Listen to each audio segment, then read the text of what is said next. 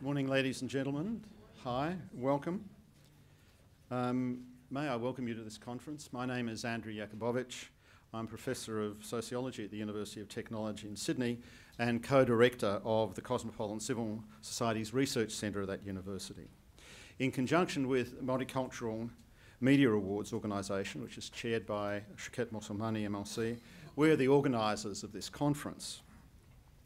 Um, the event is being videoed by UTS, cameras are up the back, um, and will be accessible after the event to the public online. Um, if you don't wish to appear on camera, please keep out of the, um, the line of the lens.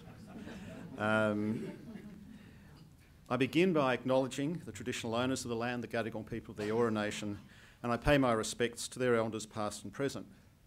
I'd also like to pass on the apologies to you from the Premier, the Honourable Barry O'Farrell. They say that imitation is the sincerest form of flattery, and I know that the Premier's Multicultural Media Awards to be held later this week. My colleague, the UTS Professor of Journalism, Alan Knight, is part of the judging panel for that event.